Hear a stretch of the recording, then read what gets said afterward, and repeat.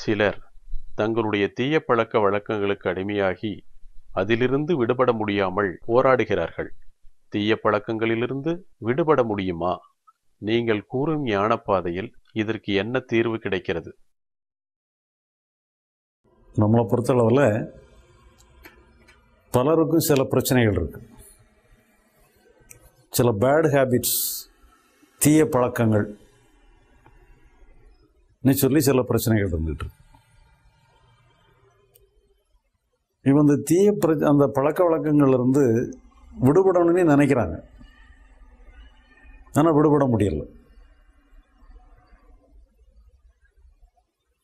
இவன் தீய பழக்கங்கள் சொல்லி சொன்னால் சிலவங்க வந்து புகைப்பிடித்தல் பழக்கம் சிலவங்களுக்கு இருக்கும். அவங்களுக்கு அது தப்புன்னு தெரியும் விட்டுறணும்னு நினைப்பாங்க விட முடியாது. சிலவங்களுக்கு மது அருந்துவாங்க. மது அருந்துறதுல வந்து ஒரு அளவுக்கு மீறி போகுது. நம்ம இது ஒன்று நமக்கு தொந்தரவு தான் பண்ணணும் நமக்கு பிரச்சனை தான் உண்டு பண்ணணும்னு சொல்லி தெரிஞ்சாலும் அதுலேருந்து விடுபட முடியாது. இதே மாதிரி சிலவங்களுக்கு வந்து இந்த காம உணர்வு அதிகமாக இருக்கும். அவங்க அதுலேயும் சிக்கி மாட்டிட்டு கிடப்பாங்க அதிலிருந்து அவங்க விடுபடணும்னு நினைப்பாங்க. ஆனால் அவங்களால விடுபட முடியாது. அந்த பழக்க வழக்கங்களே மாட்டிக்கிடுவாங்க. இப்போ அவங்களுக்கு வந்து உண்மையில இருந்து விடுபடணும்னு தான் நினைக்கிறாங்க. ஆனால் அவங்களால முடிபடல முடியலை அது. அப்போ ஏன் அப்படி நிகழ்ந்துகிட்டு இருக்கு? இந்த ராமகிருஷ்ணர் ஒரு கதையை சொல்லுவார். அதாவது ஒரு ஒரு ஆற்றுல வெள்ளம் போயிட்டுருக்கு. அந்த ஆற்றுல வந்து ஒரு புத்தம் புதிய சாப்பில் ஒரு கம்பளி மிதந்து போயிட்டுருக்கு. அப்போ ரெண்டு நண்பர்கள் வந்து கரையிலேருந்து இருந்து பார்த்துக்கிட்டு இருக்கிறாங்க. ஒரு அருமையான கம்பளி பொட்டலம் ஒன்று போயிட்டுருக்கு. ஏதாவது அபூர்வமான பொருட்கள் அதில் கட்டி வைக்கப்பட்டிருக்கலாம்னு சொல்லி இவங்க சந்தேகப்படுறாங்க. அப்போ ஒருத்தன் கொஞ்சம் தைரியமாக உள்ள குதித்து அந்த ஆற்றுல குதிச்சிடுறான். புது வெள்ளம் இழுத்துட்டு போகுது. இருந்தாலும் அவன் தைரியமாக உள்ள குதித்து அந்த மூட்டையை பிடிச்சிடுறான். பிடிச்சிட்டு அந்த மூட்டையை இழுத்து அவனால் கரைக்கு கொண்டு வர முடியல. திணறிட்டடாகான். அப்போ கரையில் உள்ளவன் சொல்கிறான் அந்த மூட்டையை விட்டுறப்பா அவனால் கஷ்டமாக இருந்தால் மூட்டையை விட்டுருன்னு சொல்கிறான் அப்போ மூட்டையை நான் விட்டுட்டேன் இப்போ மூட்டை தான் என்னையே விட மாட்டேங்குதுங்கிறான் அவன். ஏன்னா உண்மையில் வந்து என்னென்னு சொன்னால் அது கம்பளி மூட்டை கிடையாது. அது ஒரு கரடி. அதுவும் வெள்ளத்தில் அடிச்சுட்டு வரப்பட்டிருக்கு. இவன் கிட்ட போனோன்னா இவனை பிடிச்சிக்கிட்டு தப்பி வந்துடலாமான்னு சொல்லி இவனை பிடிச்சிக்கிடுது இந்த மாதிரி தான் என்னன்னு சொல்லி சொன்னால் நாம் வந்து விளையாட்டாக வந்து நம்முடைய பழக்கங்களில் நம்ம ஈடுபடுறோம். புகைப்பிடித்தல் மது இருந்து கொஞ்சம் விளையாட்ட ஆரம்பிக்கிறோம். பிறகு அதிலிருந்து நம்ம விடுபட முடியல. அது அதுவே நம்மளை வந்து விடாப்படியாக பிடிச்சிக்கிடுது.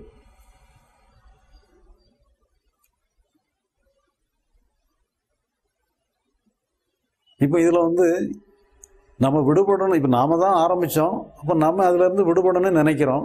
அப்போ ஏன் முடியல? இப்போ நாம் நம்ம நம்ம விருப்பத்தில் அது இல்லையா? நாம தானே விருப்பம் விரும்பி அதை செஞ்சுக்கிட்டு இருந்தோம். நாம் விரும்பி செஞ்சோம் ஏன் அதுலேருந்து நம்மளால் விடுபட முடியல? இப்போ இது வந்து ஒரு சராசரி மனிதனுக்குள்ள மட்டும் இல்லை ஆன்மீக சாதனையில் இருக்கிறவங்களுக்குமே இதில் இருந்து விடுபட முடியாமல் திணறிட்டு இருக்கிறாங்க. இந்த வாழ்க்கையை முழுசும் பிரம்மச்சாரியமாக இருக்கணும்னு சொல்லி எத்தனை பேரோ வந்து இருக்கிறாங்க.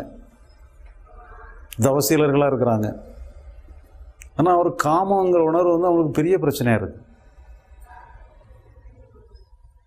அப்போ அவங்க அவங்களுக்குள்ளே ஒரு போராடிட்டு இருக்கிறாங்க.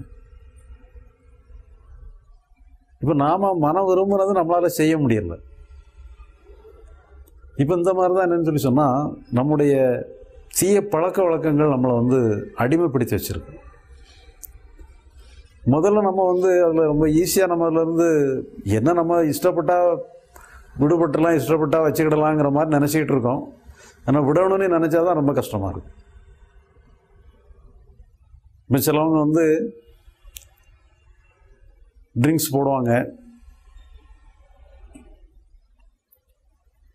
இன்னைக்கு நம்ம இன்னும் நாளையிலேருந்து விட்டுறோன்னு நினைப்பாங்க. ஆனால் மறுநாள் எழும்பின உடனே மனசு வந்து இன்னைக்கு வழக்கம் போல் அந்த ட்ரிங்க்ஸ் போடணுங்கிற ஒரு எண்ணத்தை ஏற்படுத்தும். அப்படி எண்ணத்தை ஏற்படுத்தின உடனே இவங்களுக்கு ஒரு மனசு வந்து ஒரு அலைவாய ஆரம்பிச்சிடும் நம்ம இன்னைக்கு போடுவோமா வேண்டாமான்னு சொல்லி. அப்படி எண்ணம் ஏற்பட்ட உடனேயே மனதில் வந்து எல்லாத்தையுமே ஒரு விசுவலைஸ் பண்ணி பார்க்கக்கூடிய ஒரு இயல்பு நம்முடைய மனசுக்கு இருக்குது அப்போ அந்த அதை விசுவலைஸ் பண்ணி பார்த்து அதை மனசுக்குள்ளே அதை படம் பிடிச்சு பார்க்கக்கூடிய ஒரு தன்மை வரும்பொழுது என்ன ஆயிருக்குன்னா நம்முடைய உணர்ச்சி நரம்புகள் அப்படியே தூண்டப்பட்டுருது.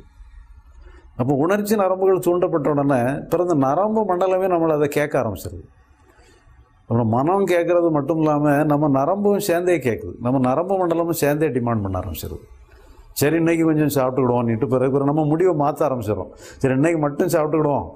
நாளையிலேருந்து விட்டுருவோம்னுட்டு சொல்லி முடிவு எடுக்கிறோம். பிறகு மறுநாள் நம்ம காலையில் எழும்பும்போது கொஞ்சம் சோர்வாக இருக்கும். இன்றைக்கி ரொம்ப சோர்வாக இருக்கு அதனால் இன்றைக்கி இந்த ப்ரோக்ராம் விட்டுருவோம். இன்னும் நான் அதுக்கு நாளிலேருந்து பார்த்துக்கிடுவோம்னு சொல்லி பிறகு கடைசியில் நம்ம வந்து அந்த மது பழக்கத்திலிருந்து விடுபடுறதுங்கிறது சாத்தியம் இல்லாமலே போயிடும்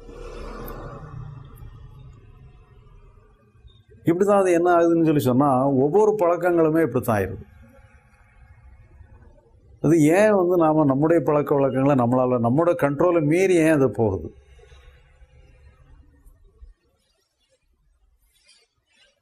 இப்போ அதை நம்ம உண்மையிலே அதிலிருந்து வெற்றி கொள்றதுக்கு எதுவும் வா- மா- வழி இருக்குதா?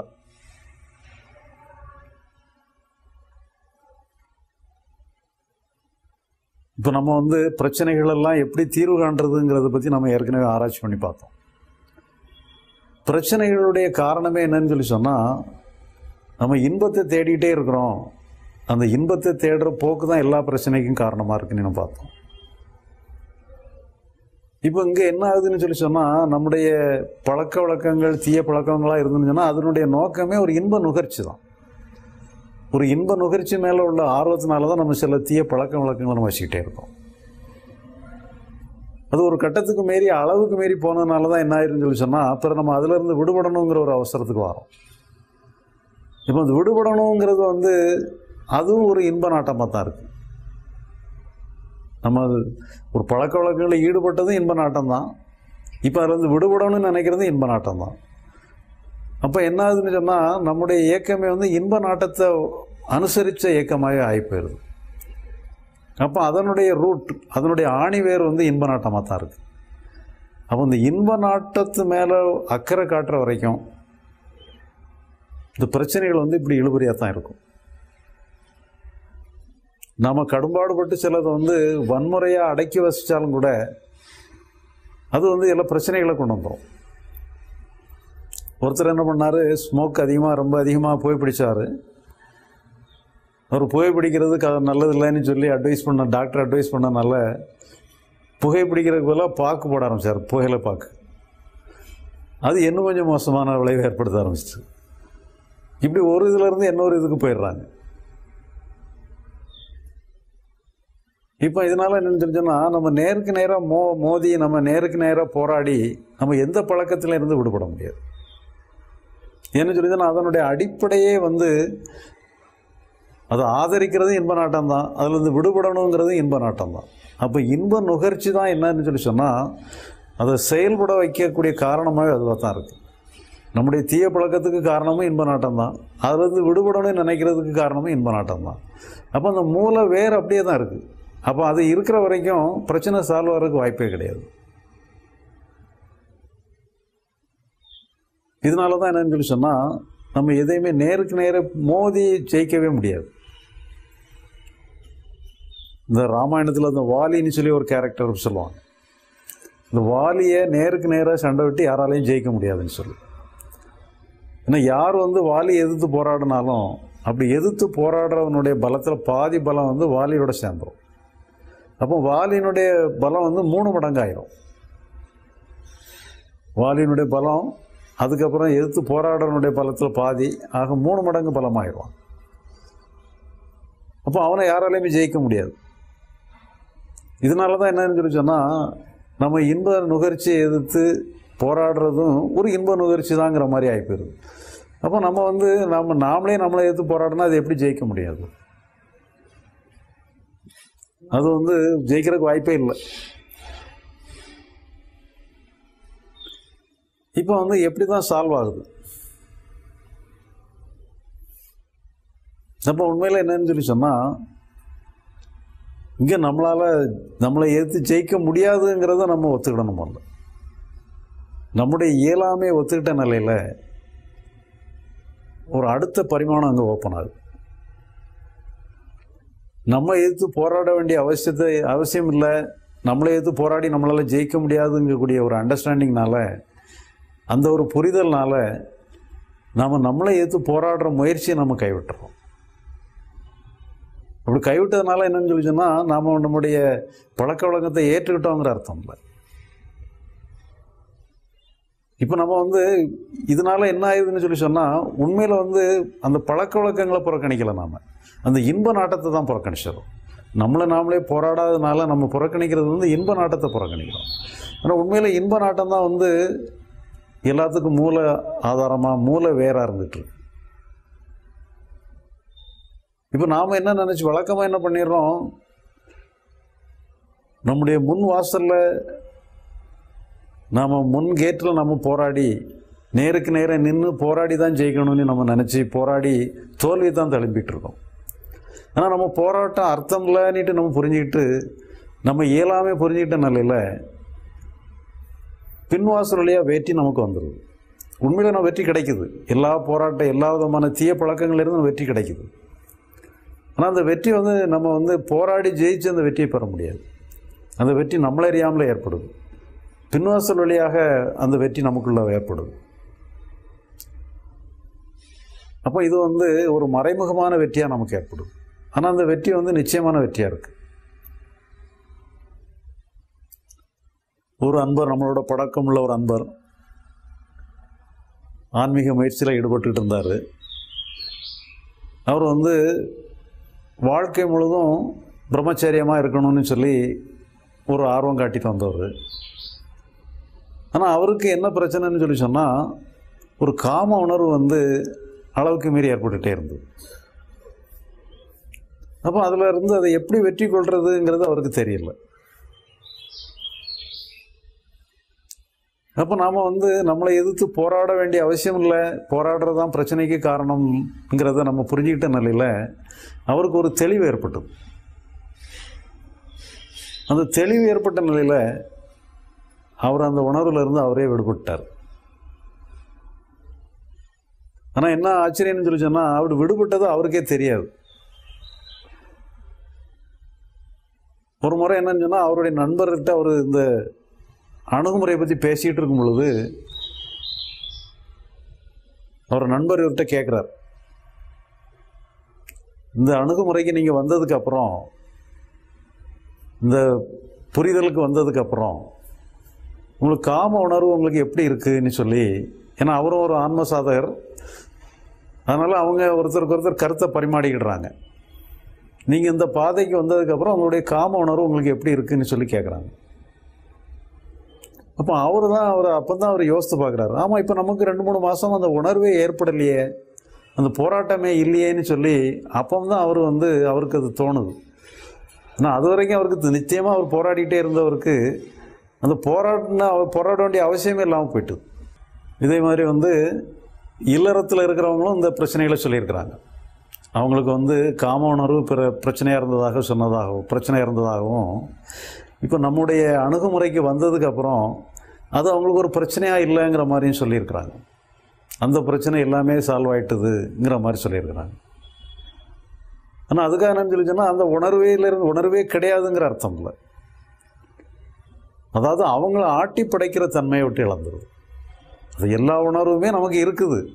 ஆனால் அது வந்து நம்மளை ஆட்டி படைச்சி அதுபோக்கில் நம்ம போகிற அளவில் நம்மளை அடிமைப்படுத்தி வைக்காத ஒரு தன்மைக்கு நான் எதுவுமே நம்ம சுதந்திரத்துக்கு வந்துடுது நம்முடைய கட்டுப்பாட்டுக்குள்ள வந்துடுது இப்போ அதான் சொல்லலாம் நம்ம உணர்வுகள் எல்லாமே எல்லா உணர்வுகளுமே ஒரு சூழ்நிலையில் வரும். இப்படி வர்றது தான் நியாயம். எந்த உணர்வுமே வரலைன்னு சொன்னால் இப்போ நம்ம வந்து ஒரு ஜடமாயிட்டோன்னு அர்த்தம். அப்போ ஒரு எல்லா உணர்வும் சரியான உணர்வு தான். உணர்வே வரக்கூடாதுன்னு சொன்னால் அர்த்தமே இல்லை அது. அப்போ நல்ல உணர்வுகள் வரத்தான் செய்யணும். காம உணர்வுங்கிறது கூட மோசமான உணர்வு கிடையாது. ஒருத்தருக்கு வந்து காம உணர்வே இல்லைன்னு சொன்னால் அது ஒரு நோய். ஆனால் அது எக்ஸசிவ் டோஸ் ஆகிட்டுன்னு சொன்னால் அது ஒரு ப்ராப்ளம் அப்போ இது எல்லாமே வந்து எல்லாமே தேவை தான் நம்ம வாழ்க்கையில் வரக்கூடிய உணர்வுகள் எல்லாமே தேவை தான் நல்ல உணர்வு மோசமான உணர்வுங்கிறது கிடையாது. தேவைக்கு சரியான முறையில் ஒரு ப்ரொபோஷனாக இருக்கணும். அது நம்மளை அடிமைப்படுத்தக்கூடாது. ஆனால் என்னன்னு சொன்னால் நாம் இஷ்டப்பட்ட முறையில் அதை கையாளுறதுக்கு உள்ள சுதந்திரத்தோடு இருந்துன்னு சொல்லி சொன்னால் எல்லா உணர்வுமே நல்ல உணர்வு தான் இப்போ நாம் வந்து உதாரணமாக ஒரு பழக்க வழக்கங்களில் இந்த தீய பழக்க வழக்கங்கள்னு சொல்லி ஈடுபடுற காரணம் என்னன்னு சொன்னால் ஒரு இன்ப ஏதாவது ஒரு ஒரு ரெக்ரியேஷன் தான். உதாரணமாக ஒரு காஃபி சாப்பிட்றோம் ஒரு போர் அடிச்சிட்டு இருக்கு. ஒரு ஒரே இதை ஒரே வேலையை திருப்பி திருப்பி செஞ்சுட்டு இருக்கிறோம். ஒரு மாற்றம் வேணும்னு சொல்லி சொன்னால் இடையில ஒரு காஃபி அல்லது எதோ ஒன்று சாப்பிட்றோம்னு சொல்லி சொன்னால் ஒரு சின்ன மாற்றம் ஏற்படுது. ஒரு மாற்றத்தை வந்து விரும்புகிறது இயற்கை தான். ஆனால் என்னன்னு சொல்லி சொன்னால் இதுவே வந்து நம்ம அழுத்தி பிடிக்கக்கூடிய அளவில் ஒரு பழக்கமாக மாறும் பொழுது தான் ஒரு கட்டுக்குள்ளே மாட்டிக்கிடுற ஒரு இது வந்துடும் அப்போ எல்லாமே நம்ம சுதந்திரத்தை இழக்காத நிலையில் நம்ம சுதந்திர நிலையில் தான் அங்கே சுதந்திரம் தான் முக்கியம். நம்ம லிபரேஷன் ஆகிட்டோம் சுதந்திரம் ஆகிட்டோம்னு சொல்லி சொன்னால் எல்லாமே நம்ம கட்டுக்குள்ள ஆயிடும் இப்போ நாம் வந்து ஒரு விஷயத்துலேருந்து சுதந்திரம் அடைகிறதுங்கிறது இல்லை மொத்தத்திலே நம்ம சுதந்திரம் ஆயிடும் அதனால் எல்லா பிரச்சனைகளும் தனித்தனியாக தனித்தனியாக சால்வ் பண்ண வேண்டிய அவசியம் இல்லை. எல்லா பிரச்சனையும் மொத்தமாகவே சால்வ் ஆயிடும் இந்த பழக்க வழக்கங்களில் மாட்டிகிட்டு இருக்கவனை பற்றி ஒரு கதை ஒன்று ஒரு சூதாடக்கூடிய இயல்புள்ள ஒருத்தன். சூதாட்டத்தில் அவனுக்கு ரொம்ப ஈடுபாடு. அவன் என்ன பண்ணிடுறான்? சூதாட்டத்திலேயே எல்லா சொத்துக்களையும் பறிமுதல் பண்ண எல்லா சொத்துக்களையும் விட்டுட்டு கடனாளி ஆயிடுறான். என்னமோ இதுக்கு மேலே அவனை முடியாதுன்னு சொல்லி என்னை வாழ்ந்து பிரயோஜனம் இல்லைன்னு நினச்சி ஒரு மலை உச்சியில் போய் தற்கொலை பண்ணுறதுக்காக ஒரு மலை உச்சியில் ஏறுறான். அவன் மலை உச்சிலிருந்து குதிக்க நினைக்கும் பொழுது ஒரு தேவதை ஒன்று தோன்றுது அந்த தேவதைகிட்ட வந்து இவன் தன்னுடைய கதையை சொல்கிறான் அப்போ நான் உன்னை காப்பாத்துறேன்னு சொல்லி அந்த தேவதை அவனை அவன் எங்கே எந்த சூதாட்டத்தில் கடனாளி ஆனானோ அந்த இடத்துக்கே அவனை கூப்பிட்டு போகுது நான் சொல்கிற மாதிரி நீ சீட்டாடு நான் உன் நீ இழந்த பணத்தை எல்லாத்தையும் நான் மீட்டு தந்துடுறேன்னு சொல்லி அது சொல்லுது. அதே மாதிரி இவனும் அந்த சூதாடுறான். இது இழந்த பணத்தெல்லாம் மீட்டுறான். அந்த அந்த தேவதையை என்ன சொல்லுதுன்னு சொன்னால் நீ இந்த சீட்டை எடு இந்த சீட்டை போடுன்னு சொல்லி அதுக்கு டைரக்ஷன் கொடுத்துட்டே இருக்கு.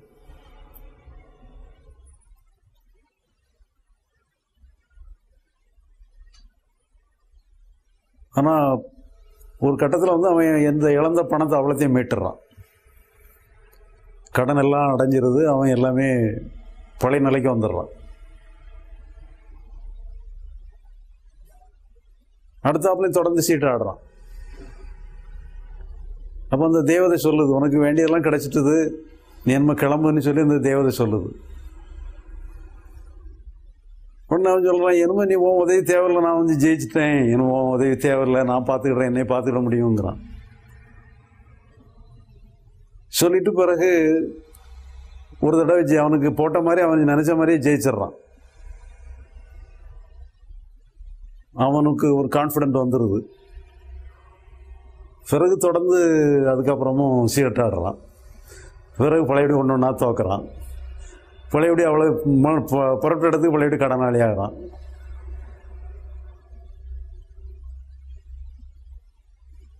பிறகு இப்போதான் அவனுக்கு வந்து பழையபடி இந்த தேவதட்ட கூப்பிட்டு கேட்குறான் அடுத்தவங்க நான் என்ன பண்ணணும்னுட்டு அவன் கேட்குறான் இவன் இதுவரைக்கும் நீ நான் பார்த்துக்கிறேன்னு சொன்னால் இப்போ தேவதட்ட பழையபடி கூப்பிட்டு கேட்குறான் அப்போ தேவதை சொல்லுது இனிமே நீ மலை வச்சுக்கு போயிடலாம் நீ இருந்தது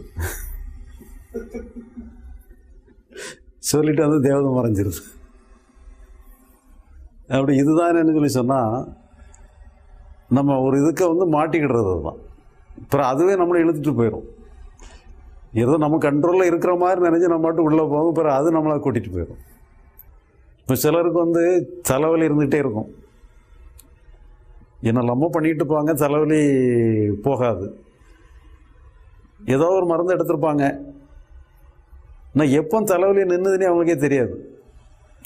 தலைவலி இருக்கிற வரைக்கும் தலைவலி தெரிஞ்சுக்கிட்டே இருக்கும். அது நிற்கும்போது நின்ன நேரத்தை விட தெரியாது. இப்போ ரொம்ப நேரம் கழிச்சு தான் ஆமாம் ரொம்ப நேரம் கழிச்சு தலைவலியாக நமக்கு இல்லையே முறை எப்போ நின்றுக்கும் போல தருது நம்ம மருந்து போட்டு கொஞ்சம் நேரத்தில் நின்றுக்கும் போல தருதுன்னுட்டு அசோஸ் பண்ணுவாங்க. அந்த மாதிரி என்னன்னு சொல்லி சொன்னால் நமக்கு எப்போ வெற்றி ஏற்படுதுங்கிறது நம்மளை அறியாமலே ஏற்படுது.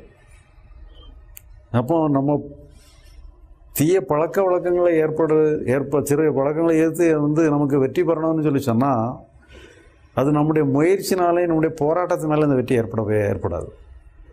அது நம்மளை அறியாமல் தான் ஏற்படும். அப்போ இது போராடி ஜெயிக்கக்கூடிய வெற்றி கிடையாது. நம்ம புரிஞ்சுக்கிட்டது மூலமாக ஆனால் அந்த வெற்றி நிச்சயமாக ஏற்படும்.